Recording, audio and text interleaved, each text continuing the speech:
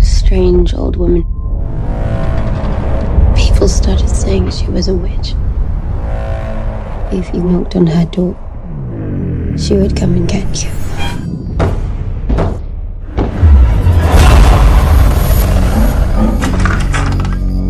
Hi, Chloe. I know that your recent relationship with your daughter hasn't been easy. She believes that witches are conspiring to feed her to a demon. Be careful, Jess.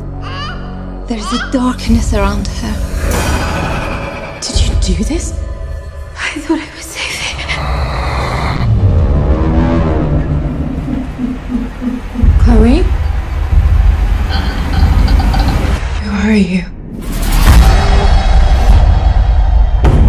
opens a doorway between hell so she can devour the innocent. She's coming for me next. Yes! Nothing is gonna happen to you.